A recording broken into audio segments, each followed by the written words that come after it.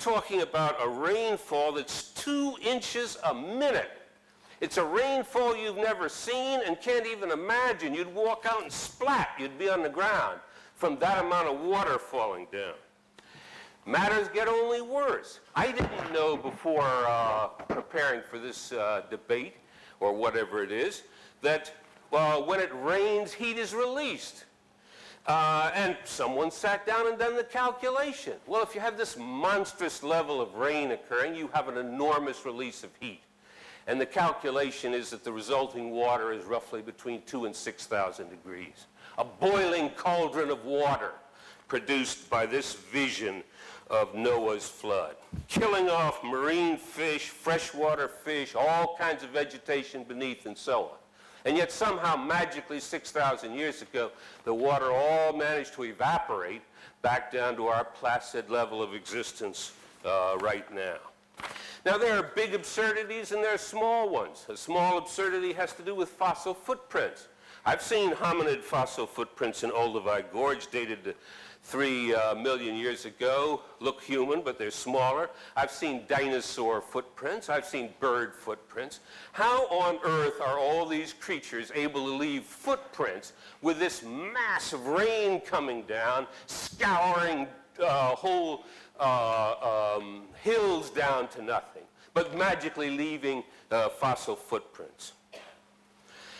Um, then you've got uh, uh, other problems. The fossil records show that recent creatures uh, in the fossil record, just below the top, are located where the current ones are. So you find marsupial fossils in Australia.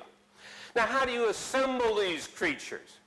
Noah sends word, I need two lions from the Serengeti, male and female. I need two uh, kangaroos from Australia. And don't exhaust yourself on the trip here, by the way, because you've got a hell of a trip back. You're going to be walking on mud hundreds of feet deep just to get back to where you belong. And matters are worse still.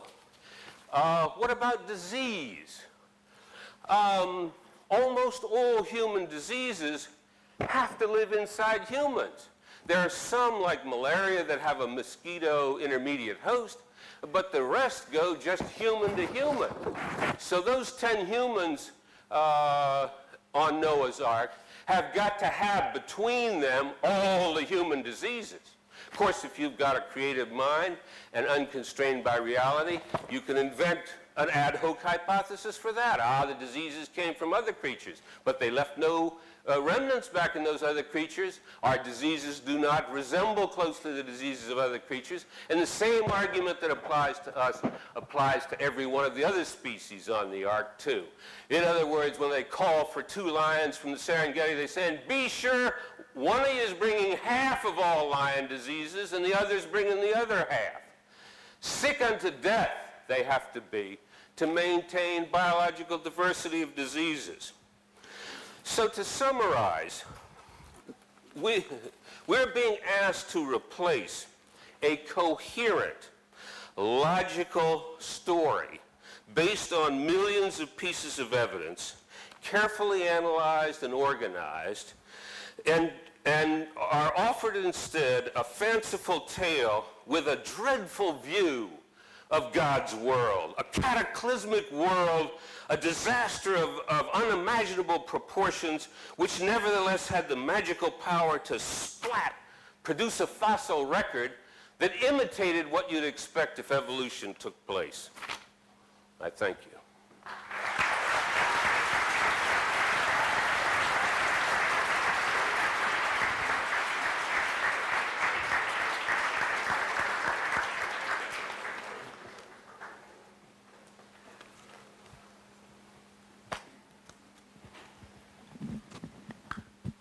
All right. Well, thank you. It is an honor to be here, and I appreciate Dr. Trivers coming.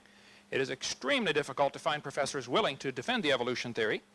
Uh, I've been turned down over 3,000 times. Uh, this has just had a few debates. I'm just a simple high school science teacher that is sick and tired of the kids being lied to in their textbooks. So we'll cover all the points that he made as time permits here. If I forget what, bring it up during the question answer session. Okay, let's see. Oh. Let me present the creation viewpoint uh, clearly and succinctly. So uh, people say, you don't have a, you guys don't have a model that you offer. Yes, we do. It's very simple. God created everything about 6,000 years ago, in six literal 24-hour days. This is the only possible way that I can see to explain what are called symbiosis relationships, where thousands of animals require certain plants or certain plants require certain animals. For instance, in the termite's gut, there's a little critter that lives in there that cannot live outside the termite. The termite, termite cannot live without that little critter in there. Which one evolved first? And how did it live for millions of years without the other one? That is only one of literally billions of examples that can be found in nature that are best explained by a simultaneous creation just in a few short days. Then I believe there was a worldwide flood about 4,400 years ago that completely destroyed this planet. I think that's the only logical way to explain the fossils. There's a ph phenomenon that takes place during uh, floods called a cavitation and another one called liquefaction. We can get into a bit more of that later. Um, uh, if you shake up a jar of dirt with water in, it, it'll automatically settle into layers for you. And it's interesting, during liquefaction, when uh, if you go out to the beach, like I live in Florida, six miles from the beach, if you go stand knee deep in the water, as the waves come by, the high part of the wave is lower, is, is higher and heavier than the low part of the wave.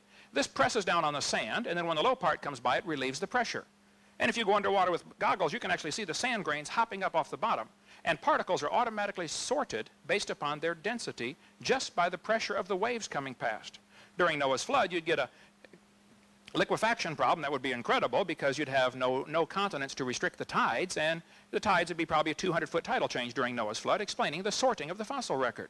Reptiles are found in a similar layer because reptiles have similar body density. There's a lot of reasons. We'll get into more of that later. So the Bible view teaches that before the flood came, the people lived to be 900 years old. There are thousands of legends from around the world of cu cultures talking about what they called the Golden Age, when people used to live to be a thousand. I mean, the Greeks talked about it, the Babylonians, the Sumerians, and the Bible certainly says Adam was 930 when he died, and everybody before the flood lived over 900 years. Reptiles never stop growing, and as, as, well as squids and most octopus and stuff like that, they simply never stop growing. So I believe before the flood came, the reptiles grew to be huge, and dinosaurs were big lizards that lived with Adam and Eve in the Garden of Eden. Just giant lizards. And then Noah took them on the ark, probably babies. He was smart enough to figure out, just bring two babies. Be sure to get a pink one and a blue one, though. And so that's the Bible view that dinosaurs uh, were called dragons through most of history since the word dinosaur wasn't invented until 1841. And people throughout the last 6,000 years have killed nearly all of them. There may be a few stragglers still around. There's certainly been an awful lot of sightings of various creatures, and that's the study of cryptozoology. There's a couple pictures of ones that washed up on the beach in California in 1925 on my website if you care to go there. So science means knowledge, to know. It is systemized knowledge derived from observation and study. There is no observation that tells us a dog ever came from a non-dog. Now, if you'd like to believe that, that's perfectly fine, but that is not science.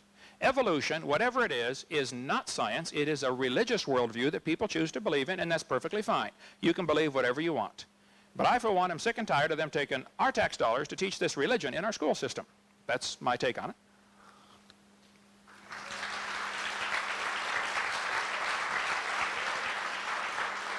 I am, I'm certainly not against science. I like science. I like it very much, as a matter of fact. We have a science center, a hands-on activity center. We have a museum. We have all kinds of activities for kids. We actually like science. I don't know any Christians that don't like science. There may be some, but I don't know them. I like science, but I'm sick of the kids getting lied to. Now, Texas has a law that requires the textbooks to be accurate. So does Florida.